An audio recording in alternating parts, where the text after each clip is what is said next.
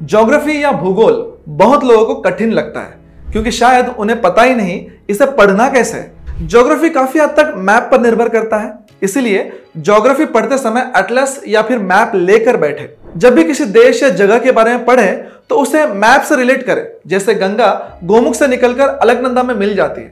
तो मैप में सर्च करें, गोमुख कहाँ है और गंगा कौन से रास्ते अलकनंदा तक जाती है।